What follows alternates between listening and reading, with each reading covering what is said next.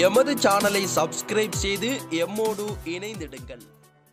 பணக்கார நாடாக மாறப்போகும் இலங்கை எப்படி தெரியுமா?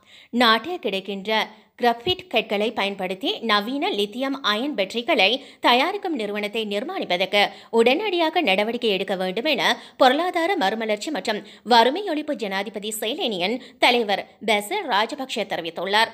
திறன் மேம்பாடு தொழிற்கல்வி ஆராய்ச்சி ராஜாங்க அமைச்சினால் மேற்கொள்ளப்பட்ட ஆராய்ச்சியின் பயனாக நவீன பேட்டரி தயாரிப்புகளுக்கு உள்ளூர் கிரபிட் கற்களை பயன்படுத்துவதற்கான திறனை தேசிய அடிப்படை ஆய்வுகள் நிறுவனம் கண்டறிந்திருக்கின்றது. ஏனைய நாடுகளில் உற்பத்தி செய்யப்படுகின்ற லித்தியம் அயன் பேட்டரிகளை விட அதிக திறன் கொண்ட பேட்டரிகளை உற்பத்தி செய்வதன் மூலம் உலக சந்தையை ஏற்கும் சாத்தியமுள்ளதாக நம்பப்படுகிறது.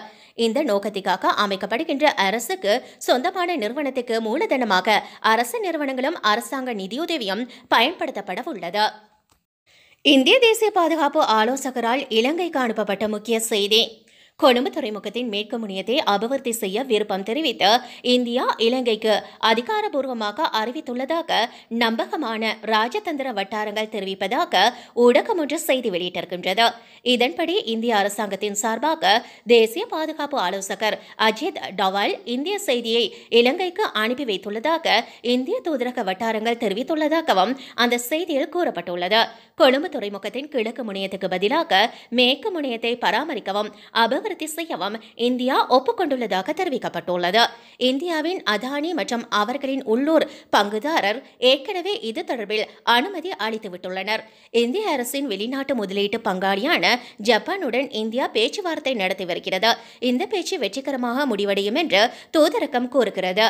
மேற்கு முனையத்தை இந்தியா அபிவிருத்தி செய்ய ஒப்புக்கொண்டதால் துறைமுகம் தொடர்பாக இரு நாடுகளுக்கும் இடையிலான அரசியல் பதட்டங்கள் குறையும் என்று ராஜதந்திர வட்டாரங்கள் தெரிவித்தன என்று அந்த ஊடகம் மேலும் செய்தி வெளியிட்டிருக்கின்றது. இலங்கையின் பொருளாதாரத்தில் கைவைக்க மேற்குலக நாடுகள் முயற்சி வெளிவிவகார அமைச்சர் தகவல்.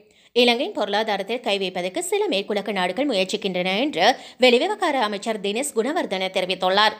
ஜெனிவா விவகாரத்தால் இலங்கை மீது பொருளாதார தடைகள் வரக்கூடும். இதனால் பொருளாதாரம் பாதிக்கக்கூடும் என்ற அச்சம் வர்த்தகர்கள் மத்தியில் இருக்கின்றது. இது தொடர்பில் தங்களுடைய கருத்து என்ன என்று எழுப்பப்பட்ட கேள்விக்கு பதில் வழங்கிய போதே அவர் இவ்வாறு குறிப்பிட்டுள்ளார். இது தொடர்பில் அவர் பேசியதாவது இலங்கையின் பொருளாதாரத்தை கைவிப்பதற்கு சில மேற்குலக நாடுகள் முயற்சிக்கின்றன. அவ்வாறான நாடுகளுக்கும் அங்குள்ள அமைப்புகளுக்கும் யதார்த்த நிலைமை குறித்து எடுத்துரைக்கப்படும். அத்துடன் அவர்கள் அறிந்திராத பல தகவல்கள் முன்வைப்பதற்கு இலங்கையால் முடியும். இலங்கையில் முற்போக்கு சக்தியொன்று நாட்டை ஆளும் பட்சத்தில் தமது நாட்டுக்கு எதிரானவற்றை தோற்கடிப்பதற்கே நடவடிக்கைகளை எடுத்துள்ளன. எனவேதான் எமக்கு ஏதோ ஒரு விதத்தில் அழுத்தங்களை கொடுப்பதற்கான முயற்சிகள் தொடர்கின்றன. பொருளாதார தடை பொருளாதார வீழ்ச்சி ஆகியன குறித்து அறிவிப்புகள் வெளிவந்தாலும் அவை நடைமுறைக்கு வராத வகையில் பார்த்துக் கொள்ளக்கூடிய செயற்படக்கூடிய ஆற்றல் இலங்கை அரசுக்கு இருக்கிறது என்று அவர் குறிப்பிட்டுள்ளார். அமெரிக்கா வரலாற்றில் எந்த ஒரு ஜனாதிபதிக்கும் இதுபோன்று நடந்ததில்லை. ட்ரம்ப் வருத்தம். அமெரிக்கா வரலாற்றில் எந்த ஒரு ஜனாதிபதிக்கும் இதுபோன்று நடந்ததில்லை என ட்ரம்ப் வருத்தத்துடன் குறிப்பிட்டுள்ளார். அமெரிக்காவில் கடந்த ஆண்டு நவம்பரில் நடந்து முடிந்த அதிபர் தேர்தலில் ஜனநாயக கட்சி வேட்பாளர் ஜோ பைடன் வெற்றி பெற்றார். இதனைத் தொடர்ந்து ட்ரம்ப் பதவி விலக வேண்டியிருந்தது. ஆனால் தேர்தலில் முறைகேடு நடந்துள்ளது என குற்றச்சாட்டு கூறிய ட்ரம்ப் தனது ஆதரவாளர்களிடையே வன்முறையை தூண்டும் வகையில் தொடர்ந்தும் பேசினார் என குற்றச்சாட்டு எழுந்தது. பைடனுடன் அதிபர் பதவிக்கான அதிகாரம் அளிப்பதற்கான மற்றும் சான்றிதழ் வழங்கும் பணிகள் ஆகியவற்றைக்கான நடவடிக்கைகள் எடுக்கப்பட்டன. இதனால் ஆவேசமடைந்த ட்ரம்பின் ஆதரவாளர்கள் நாடாளுமன்ற முற்றுகை போராட்டத்தில் ஈடுபட்டனர். இதில் வன்முறை ஏற்பட்டது. போலீசாரின் தடியடி கண்ணீர் புகை குண்டுவீச்சு சம்பவங்களும் நடந்தன. வன்முறையை தூண்டிவிடும் வகையில் ட்ரம்ப் பேசினார் என கண்டனம் எழுந்தது. இதனைத் தொடர்ந்து அவர் மீது கண்டன தீர்மானம் நிறைவேற்றியது. அமெரிக்கா செனட் சபையில் இந்த வழக்கு விசாரணை நடந்தது. இதில் கடந்த ஜனவரி ஆறாம் தேதி வன்முறையை தூண்டும் வகையில் பேசிய ட்ரம்புக்கு எதிராக செனட் சபையைச் சேர்ந்த குடியரசுக் கட்சியினர் ஏழு பேர் வாக்களித்தனர். ஜனநாயக கட்சியினருடன் இணைந்து டிரம்புக்கு எதிராக நின்றனர். எனினும் அவர் சார்ந்த குடியரசுக் கட்சியினர் பலர் டிரம்புக்கு ஆதரவாக வாக்களித்தனர். இதனால் சபையில் ஐம்பத்தி ஏழுக்கு நாற்பத்தி மூன்று என்ற கணக்கில் ஆதரவு வாக்குகளை பெற்ற ட்ரம்ப் குற்றவாளி இல்லை என தீர்ப்பு கிடைத்து இந்த வழக்கிலிருந்து விடுவிக்கப்பட்டுள்ளார். இந்த கண்டன தீர்மான வழக்கிலிருந்து விடுவிக்கப்பட்ட பின்னர் ட்ரம்ப் கூறும் பொழுது நம்முடைய அமெரிக்கா வரலாற்றில் பெரிய சூன்ய வேட்டையின் மற்றொரு கட்டம் மீது எந்தவொரு ஜனாதிபதிக்கும் இதுபோன்றே நடந்ததில்லை என்று அவர் குறிப்பிட்டுள்ளார். அமெரிக்காவை சிறந்த நாடாக மீண்டும் உருவாக்கும் நம்முடைய வரலாற்று சிறப்புமிக்க தேசப்பற்று நிறைந்த மற்றும் அழகான இயக்கம் தற்பொழுது தொடங்கியுள்ளது என்று அவர் குறிப்பிட்டுள்ளார். அதிபராக இருந்த ஒருவருக்கு கடந்த ஒரு சில மாதங்களுக்கு முன்பு அதிக அளவாக ஏழு புள்ளி ஐந்து கோடி மக்கள் வரை வாக்களித்தனர் என்பதனை நம்முடைய எதிராளிகள் மறந்துவிட முடியாது என்றும் அவர் குறிப்பிட்டுள்ளார். அமெரிக்க நுகர்வோர் நிதி பாதுகாப்பு வாரிய தலைவராக இந்திய அமெரிக்கர் நியமனம். அமெரிக்காவின் நுகர்வோர் நிதி பாதுகாப்பு வாரிய தலைவராக இந்திய அமெரிக்கரான ரோஹித் சோப்ரா நியமனம் செய்யப்பட்டுள்ளார். அமெரிக்க அதிபர் தேர்தலில் ஜனநாயக கட்சியின் வேட்பாளர் ஜோ பைடன் அதிக வாக்குகளை கைப்பற்றி வெற்றி பெற்று புதிய அதிபரானார். துணை அதிபராக இந்திய வம்சாவளியான கமலா ஹாரிஸ் பதவியேற்றுக் கொண்டார்.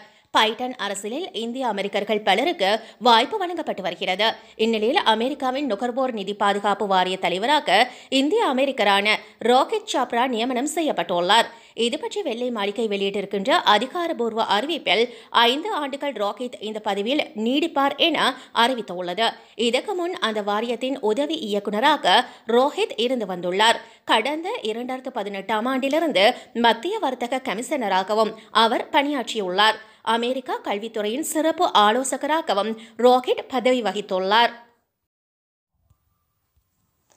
இறுதிக்கட்ட போரில் சரணடைந்த புலிகளுக்கு நடந்தது என்ன? அமெரிக்கா முன்னாள் உயர் அதிகாரி வெளியிட்ட அதிர்ச்சி தகவல். இலங்கையில் புலிகளின் மீறல் நடவடிக்கைகளுக்காகவும் விசாரணை நடத்தப்பட வேண்டும்.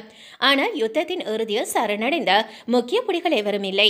இது குறித்து இன்றைய ஜனாதிபதியான கோட்டபாய ராஜபக்ஷ அன்று பாதுகாப்பு செயலாளராக இருந்தபோது நான் நேரில் அவரிடம் கேட்டேன். அதுக்கு அவர் நான் அவர்களை கொன்றேன் என்று கூறியது இன்றும் என்னுடைய நினைவில் உள்ளது. யுத்த குற்றங்கள் தொடர்பில் அமெரிக்காவின் விசேட தூதுவராக இருந்த ஸ்டீபன் ஜெராப் இவ்வாறு பரபரப்பு தகவலை வெளியிட்டுள்ளார். உலக தமிழர் பேரவை மனித உரிமைகள் மற்றும் சர்வதேச நீதிக்கான நிலையம். இலங்கையில் நீதி மற்றும் சமாதானத்துக்கான பரப்புரை கனேடிய தமிழ் காங்கிரஸ் ஆகியன இணைந்து முன்னெடுத்த இணையவழி கருத்தரங்கில் கருத்து தெரிவிக்கும் போது அவர் இதனை குறிப்பிட்டுள்ளார். லண்டனில் இருந்து அமேல் அபேவர்தன என்பவர் புலிகளுக்கு எதிராகவும் யுத்த குற்றங்கள் தொடர்பான பொறுப்புக்கூறல் நடவடிக்கையை முன்னெடுக்க வேண்டுமா என்று கேள்வி எழுப்பினார். இதற்கு பதிலளித்த அவர் ஆம் புலிகளின் மீறல் தொடர்பாக நீதியை நிலைநாட்டுவதற்கு குறிப்பிடத்தக்க வழிமுறை இல்லை என்பது வெளிப்படையானது. நான் அங்கு இருந்தபோது போதிய பாதுகாப்பு செயலாளராக இருந்த தற்போதைய ஜனாதிபதி இது குறித்து பேசியமை எனக்கு நினைவில் இருக்கிறது. குற்றங்கள் இழைத்த தனிநபர்களுக்கு எதிராக நம்பத்தகுந்த சாட்சியங்கள் இருந்தால் மீறல்களுக்காக அவர்கள் மீது நடவடிக்கை எடுக்கலாம். அதுக்கு நாங்கள் தயாராக இருக்கின்றோம் என்றேன். ஆனால் சரணடைந்த பின்னர் அத்தகையோர் அவர்கள் அறுபது பேர் அல்லது அதற்கு மேலும் இருக்கலாம். கொல்லப்பட்டுவிட்டனர். எனவே யுத்தத்திலிருந்து குற்றம் சுமத்தக்கூடிய சந்தேக நபர்கள் உயிருடன் இல்லை எனக்கு நினைவிருக்கிறது. பாதுகாப்பு செயலாளர் கூறினார் விசாரணை என்று நீண்ட காலம் ஈடுபடும் அதனால் நான் அவர்களை கொன்றேன். நான் அவர்களை கொன்றேன். ஆனால் அது நீதிமுறை அல்ல என்று ராப் குறிப்பிட்டுள்ளார். சோமானியாவில் பயங்கரம். அதிபர் மாளிகைக்கு அருகே கார் குண்டுவெடிப்பு கிழக்கு ஆப்பிரிக்கா நாடுகளில் ஒன்றான சோமாலியாவில் அல் கைதா பயங்கரவாத அமைப்புடன் தொடர்புடைய அல் ஷபாப் பயங்கரவாதிகள் கடும் ஆதிக்கம் செலுத்தி வருகின்றனர். இவர்கள் அங்கு ராணுவ வீரர்கள் போலீசார் மற்றும் அரசு அதிகாரிகளை குறிவைத்து தொடர் பயங்கரவாத தாக்குதல்களை நடத்தி வருகின்றனர். குறிப்பாக தலைநகர் மொகாதிசு தொடர் பயங்கரவாத தாக்குதலுக்குள்ளாகி வருகிறது. இந்நிலையில் மொகாதிசுவில் அதிபர் மாளிகை அமைந்துள்ள பகுதியில் இருக்கின்ற சோதனை சாவடியில் போலீசார் வழக்கம் போல சோதனையில் ஈடுபட்டிருந்தனர். அப்பொழுது வெடிகுண்டுகள் நிரம்பிய காரை ஓட்டி வந்த பயங்கரவாதிகள் அந்த சோதனை சாவடி மீது மோதி வெடிக்கச் செய்து குண்டுகள் பயங்கர சத்தத்துடன் வெடித்துச் சிதறின. இதில் அந்த பகுதியே அதிர்ந்தது. சாலையில் நிறுத்தப்பட்டிருந்த ஏராளமான வாகனங்கள் தீக்கிரையாக்கின இதனால் அங்கு கரும்புகை மண்டலம் உருவானது. குண்டு வெடிப்பை தொடர்ந்து பயங்கரவாதிகள் துப்பாக்கிச் சூட்டில் ஈடுபட்டதாகவும் தகவல்கள் தெரிவிக்கின்றன. இந்த தாக்குதலில் மூன்று பேர் உயிரிழந்துள்ளதாகவும் எட்டு பேர் படுகாயம் அடைந்ததாகவும் முதற்கட்ட தகவல்கள் தெரிவிக்கின்றன. இந்த எண்ணிக்கை அதிகரிக்கலாம் என்று தெரிகிறது. அதிபர் மாளிகைக்கு அருகே நடந்த இந்த குண்டுவெடிப்பு சம்பவம் சோமாலியாவில் பெரும் பரபரப்பை ஏற்படுத்தியிருக்கிறது. அதே சமயம் இந்த தாக்குதலுக்கு உடனடியாக எந்த ஒரு பயங்கரவாத அமைப்பும் பொறுப்பேற்கவில்லை. ஜப்பானில் பாரிய நிலநடுக்கம் மக்களிடையே பெருமச்சம் ஜப்பானில் பாரிய நிலநடுக்கம் ஒன்று பதிவாகியுள்ளதாக அமெரிக்கா புவியியல் ஆய்வு மையம் தெரிவித்துள்ளது. ஜப்பானின் நாமி கடல் பகுதியில் இந்த நிலநடுக்கம் ஏற்பட்டுள்ளது. ஏழு புள்ளி பூஜ்ஜியம் ரிக்டர் அளவில் முதலாவது நிலநடுக்கம் பதிவாகியுள்ளதுடன் அதனைத் தொடர்ந்து நான்கு புள்ளி ஒன்பது மற்றும் ஐந்து புள்ளி மூன்று ரிக்டர் அளவிலான பின்னதிர்வுகள் பதிவாகியுள்ளன. நிலநடுக்கம் உணரப்பட்டதும் பொதுமக்களிடையே பீதி ஏற்பட்டது. ஆனால் இந்த நிலநடுக்கத்தால் சுனாமி அச்சுறுத்தல் எதுவும் இல்லை எனவும் கடல் அலைகள் உயரமாக எழும்பும் என்றும் சுனாமி எச்சரிக்கை மையம் கூறியது. இதனால் மக்கள் ஆறுதல் அடைந்துள்ளனர். பெண் பத்திரிகையாளரை மிரட்டியதால் ஜா உதவியாளர் பணியிடை நீக்கம். அமெரிக்காவின் நாற்பத்தி ஆறாவது ஜனாதிபதியாக ஜோ பைடன் கடந்த மாதம் இருபதாம் தேதி பதவியேற்றார். அதனைத் தொடர்ந்து அவர் வெள்ளை மாளிகையில் குடியேறினார். இதையடுத்து தன்னுடைய பத்திரிகை இணை செயலாளராக டிஜி டாக்லா என்பவரை அவர் நியமித்தார். இந்நிலையில் சமீபத்தில் டிஜி டாக்லா வெள்ளை மாளிகையில் பத்திரிகையாளர்களை சந்தித்தார். அப்போது அவரிடம் பெண் பத்திரிகையாளர் ஒருவர் அவருடைய தனிப்பட்ட வாழ்க்கை குறித்து கேள்வி எழுப்பினார்.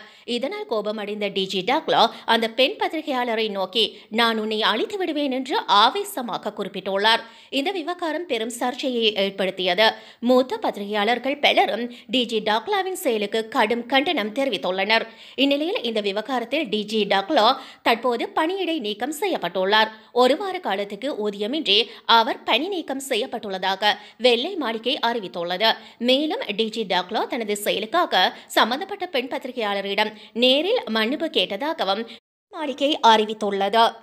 இருப்பினும் டிஜி டாக்லோ மீது கடுமையான நடவடிக்கை எடுக்கவில்லை என ஜனாதிபதி ஜோ பைடன் மீது விமர்சனம் எழுந்துள்ளது. அமைதி காப்பாளர் மீது தாக்குதல் ஐநா பொதுச் செயலாளர் கண்டனம்.